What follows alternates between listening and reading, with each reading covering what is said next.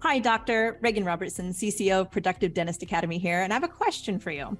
Are you finding it hard to get your team aligned to your vision, but you know you deserve growth just like everybody else? That's why we've created the PDA Productivity Workshop. For nearly 20 years, PDA workshops have helped dentists just like you align their teams, get control of scheduling, and create productive practices that they love walking into every day. Just imagine how you will feel when you know your schedule is productive, your systems are humming, and your team is aligned to your vision. It's simple, but it's not necessarily easy. We can help. Visit productivedentist.com slash workshop. That's productivedentist.com slash workshop to secure your seats now. This is a conversation you should start having eight to 10 years before you actually sell. Welcome to Investment Grade Practices Podcast, where we believe private practice dentists deserve to get the lifestyle today while building an asset for tomorrow. Join your host, Victoria Peterson, to design the practice of your dreams and secure your financial independence. Let's get started.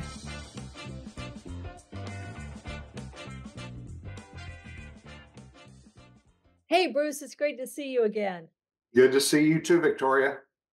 Hey, we just spent two weeks together, which is a treat for us. Me living in Hawaii, you in Texas. Anytime we can get together, it's it's just fantastic.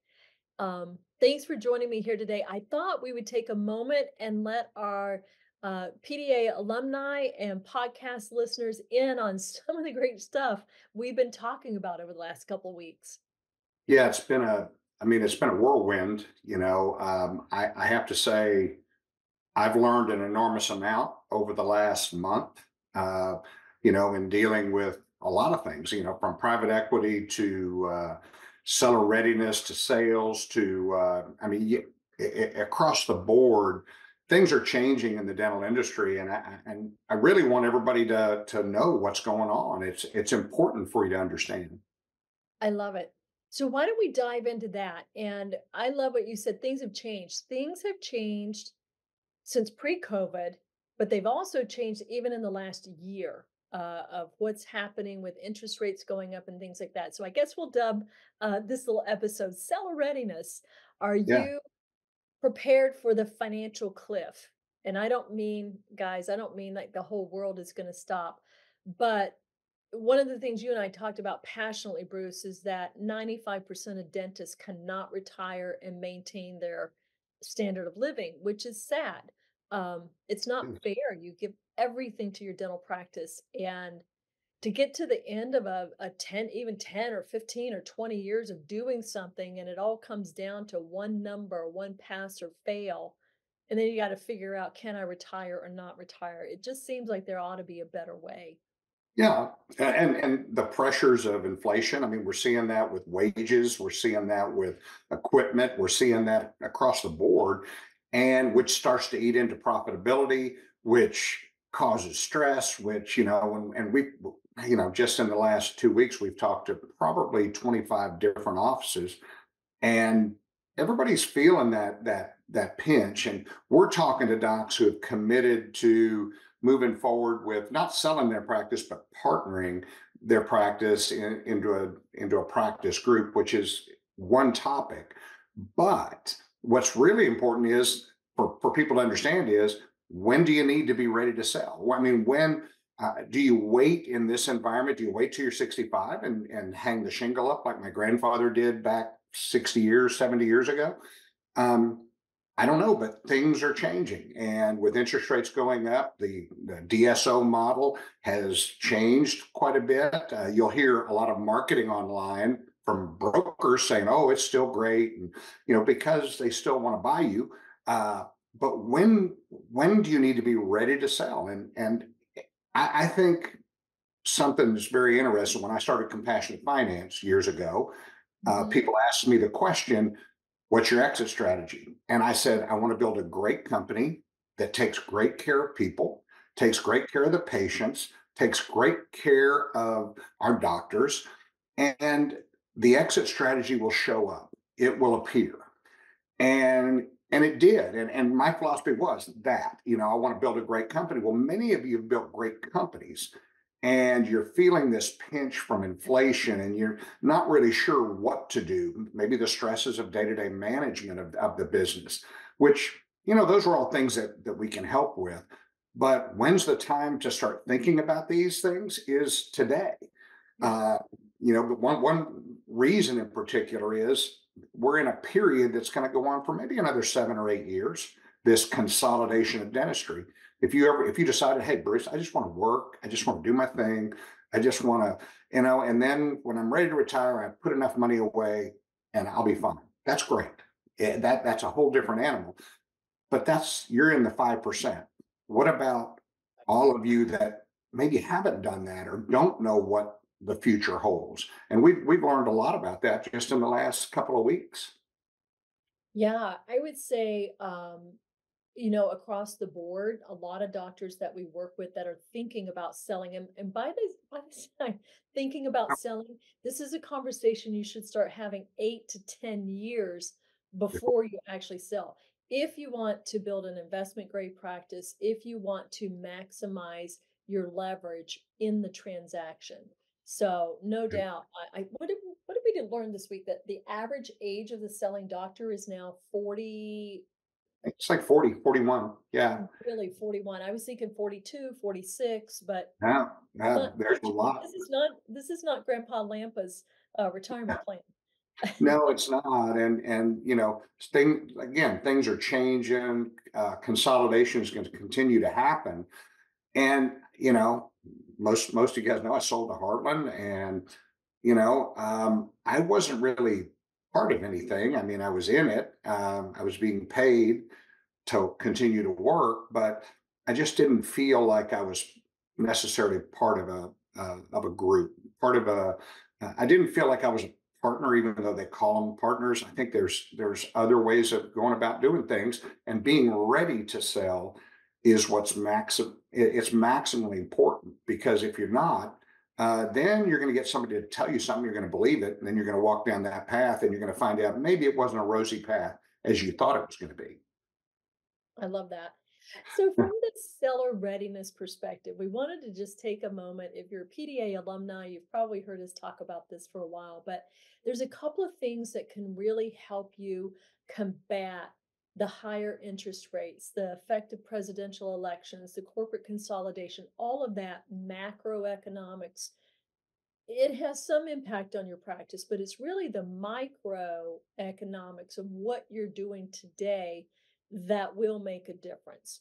So, we have actually created an entirely brand new program. We have a workshop that comes along with it and a, a very short six month advisory program and and if you are experiencing this if you have kind of peaked and plateaued in your practice and the uh, if you've had your practice valued let's say and the number doesn't quite hit what you need for financial freedom well did you know that if you raised your collections by 10% and you cut your expenses by 10% so in this case a 1.2 million dollar practice you're you're just trying to find $12,000 a thousand bucks a month. If you could if we can help you find a thousand bucks a month and we can help you grow a thousand bucks a month did you know that your take home pay would increase by 40% so there's little small things that you can be doing today to get your practice ready so that when you do get to valuation you're going to be happy with that number so growing $50 an hour means $76,000 in revenue, a hundred bucks an hour. And most of you have done this. Uh, maybe you've plateaued. Yeah. You had a lot of team turnover. That's what we heard from our doctors is like, yeah, yeah, yeah, I used to produce more, but then, you know, COVID and the team and we had some turnover. So 2023, I think, was probably one of the hardest. I'm still including it in pandemic years because we had, you know, 20, was it 2020? Uh, yeah. pandemic. 2021 was something of a recovery. 2022 was still a boom recovery year, but 2023, all bets were off. Like people, uh, they're they're still migrating around the country, but most of the geographic migration had slowed down. The job markets were um, stabilizing, and your practice became your practice. Yep. So if you're no, working no question. So now is the time to think what what am I going to do for the next phase? So think about becoming seller readiness ready as my next decade. What do I do now to take advantage of the trends that are happening? How do I improve my profit margin? Because that's the name of the game. And how do I take better care of my patients along the way? Those are the doctors I'm seeing that are getting the best multiple for their practice and they're they're because the multiple is right, the money is right, they have an easier time focusing on what does life look like after the transaction. Yeah, no question. I mean, that the thing is, sell readiness means getting ready to sell, whether it's five years or 25 years, because you're going to enjoy the benefits of being ready because your profits are going to go up, your take home goes up, and you may decide, hey, I don't ever want to sell. Again, I keep saying that, but great, because we don't care one way or the other. We just want you to get to that 5% that are able to retire and enjoy their life and travel and do all the things that they've always done.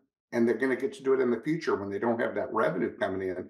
And so uh, I think, you know, just to kind of highlight what's going on in in the world of dental service organizations and everything else, I mean, this consolidation again is going to last about seven to eight years. Uh, and then it'll go back to you're not selling to private equity groups. You're probably not even selling to DSOs. You're selling to another dentist. And the difference between selling at 65% of your previous year's collections or 75 and selling your and, and selling at six or seven times your EBITDA or profit is a very different number. Uh, in other words, opportunity is extremely high right now, and we want you to understand that. But what I also want you to understand is whether you sell or not is is, not the point. Well, whether you sell or not doesn't really matter if you're following uh, a growing business model. If you're growing your business and you're doing those things, and then you might find that, gosh, you know, I'm at 300,000 in EBITDA. And if I could grow another 100,000 EBITDA or 200,000 EBITDA, I might get a $3 million check and have more money coming at the back end of that deal. And so what you would have sold for, again, a million dollars or a million two, now you have opportunities to sell for 5 million. And I always say, you know, I sold my practice, I did very well, but it's it's the long-term effect that paid me in, in with stock values and those types of things. So uh, we just want you to understand that. We've done a course now that will help you do that. Um, I implore you to go. I, I think it's now's the time. If you haven't, uh, first of all, most of you have thought of it because you've gotten 50 unsolicited offers for your business. And and now they're starting to actually call your office. Yeah, and they're calling your office. And and and here's something extremely important: is the game of EBITDA is just that. It's a game. The game of multiples is just that. It's a game. We had one doctor that had 10 evaluations done. 10. Their EBITDA was different in all 10, and their multiple was different in all 10. So what when somebody says, Well, I got a six and a half, well, I got a 6.58 and, and I got a six point or a four point, whatever it is, you may get an eight and get totally screwed because they gave you an eight, but they gave you an EBIT of 200,000 when your EBITDA really was 450,000 and you would have made a whole lot more money. So don't listen to the hype. You guys have come to us, you trust us, and we are so appreciative of that. We've always looked out for our for our docs. And I'll be honest, um, there needs to be a level playing field, and that's really what PDA has done. We've leveled the playing field. We've tried to we've tried to give you all the information to understand what EBITDA really is, so that you're making sure we're counting everything that counts into that, and we're getting the highest multiples for our group called Lampa Dental Group, which we've put together, and it's a it's a not a DSO. It's you know what, what how do we describe our group? Yeah, it's Lampa Dental Partners. It's a dental partner group. Um, Yeah. Uh, the founders have autonomy on their four walls. Like their office manager doesn't suddenly become their boss. I think that's, right. that's where consolidation gets a really bad rap. Yeah, it so, does. I mean, as we just peel back the onion and go deeper and deeper and deeper in our own understanding, we wanted to come to you guys, uh, let you know if you've been through the PDA workshop before and you're looking for that next level. Uh, we do have another course. It's called Seller Readiness. Um, you don't have to go into full coaching to take advantage of that, mm. but it's going to help you get organized uh, so you know where all your financial documents are. You understand how to read your P&Ls. You understand what it could mean in this environment.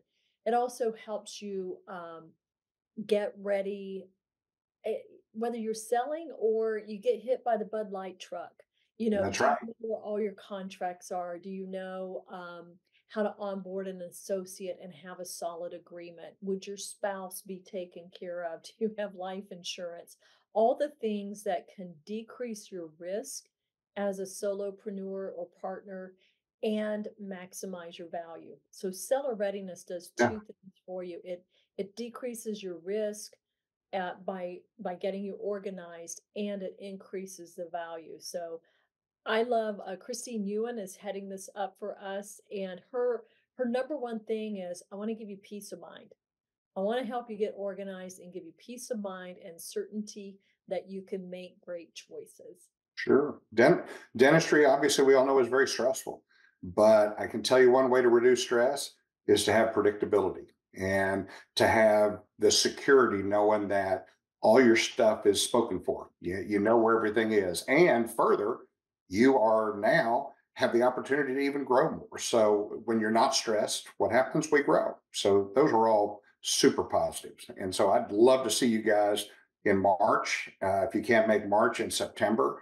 Uh, and um, yeah, I, I, I, just feel like this is a, a must listen to um, for the future. And um, I hope you can make it. Thank you for tuning in to this episode of Investment Grade Practices Podcast.